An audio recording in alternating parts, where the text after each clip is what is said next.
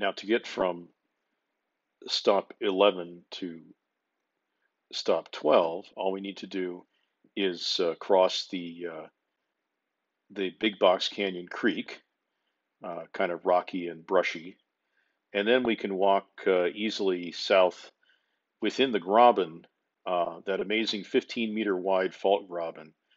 for just 100 meters, and get to uh, hanging fence, which remains pretty much as it um, uh, as it was in 1954. Uh, the um,